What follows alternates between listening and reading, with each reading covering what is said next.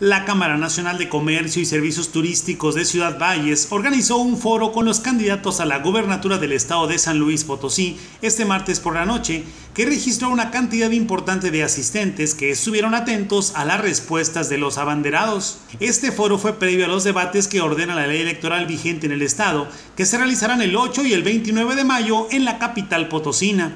Los candidatos fueron respondiendo cada una de las preguntas de los organizadores. Sonia Mendoza señaló que no existen obras significativas en los últimos seis años. Solo las propuestas de uno de los candidatos son el seguimiento de estas obras sin trascendencia, que son parte de lo mismo, seguir en el atraso y continúe la corrupción. Dentro de su propuesta señaló tres puntos importantes. La promoción del eje industrial, pues actualmente existe la mano de obra calificada, pero desperdiciada. Esta propuesta se debe realizar desde el altiplano hacia todas las zonas del estado, también la promoción y el impulso al sector agroindustrial, así como también el impulso del sector turismo, todo encaminado a detonar la economía. Lamentablemente estamos estancados y bueno, entre otros factores, decirles también que en San Luis Potosí desgraciadamente el 52% de la población sigue siendo poco. Además, si le aunamos a esto eh, que eh, nosotros tenemos un gobierno definitivamente rico con una sociedad cada día más pobre.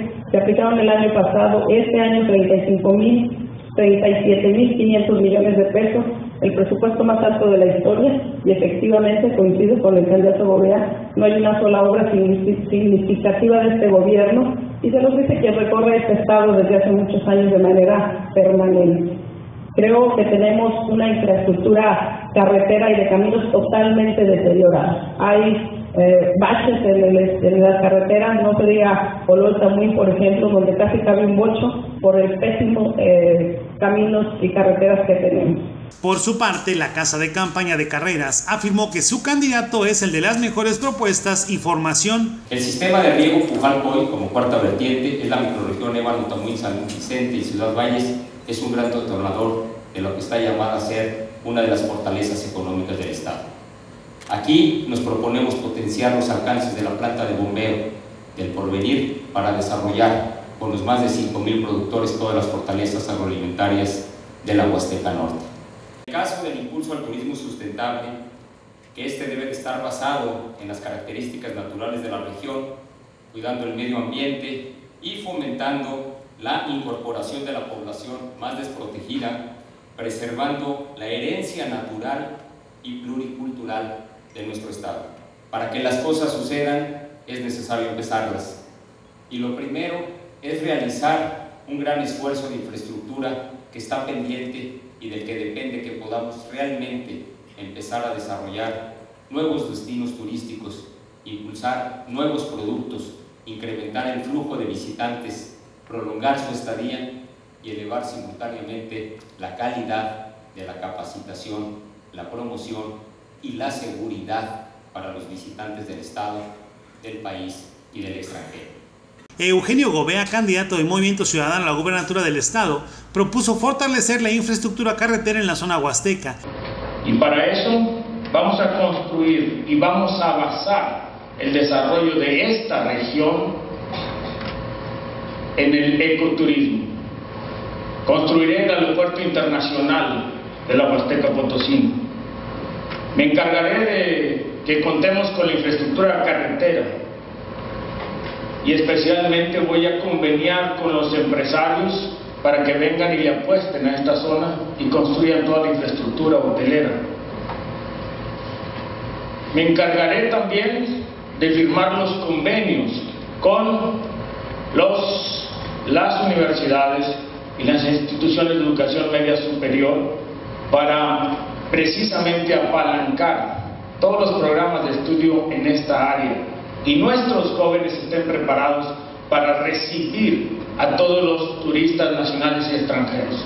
Tenemos mucho, pero mucho de qué presumirle a México y al mundo. Voy a construir una juguera que verdaderamente tenga un carácter social.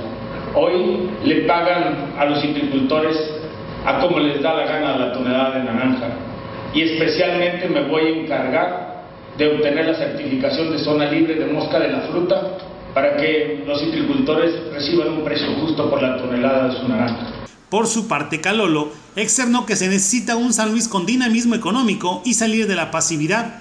Propuso combatir la corrupción, generar un desarrollo equilibrado en las cuatro zonas del Estado, crear circuitos productivos y transparentar la función pública al máximo. Todos ustedes tienen hoy aquí una riqueza incalculable. Nuestro querido Estado de San Luis Potosí tiene regiones que merecen realmente todo nuestro orgullo.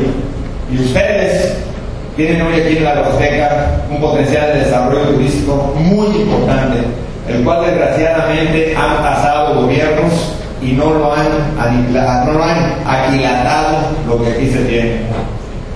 Sí, necesitamos hacer e impulsar diferentes tipos de acciones. Y una de ellas precisamente, como aquí se ha dicho, el aeropuerto, el aeropuerto internacional de, que pudiera ser también, efectivamente es uno de los principales, que sería una puerta importante de entrada. Pero también para que lleguen los turistas a los diferentes sitios infraestructura carretera, una infraestructura que hoy efectivamente, como aquí se ha dicho, está totalmente deshecha y descuidada. Los caminos secundarios que conducen en todo lo que son las redes están desbaratados y sobre todo también en las zonas de importancia turística, como aquí ya se dijo también, la cascada de Tamur, las eh, pozas de Gilisla, el jardín de Ciudad James, eh, toda la enorme eh, riqueza que tiene usted natural, le hace falta también mucha infraestructura para que pudiera ser potencializada.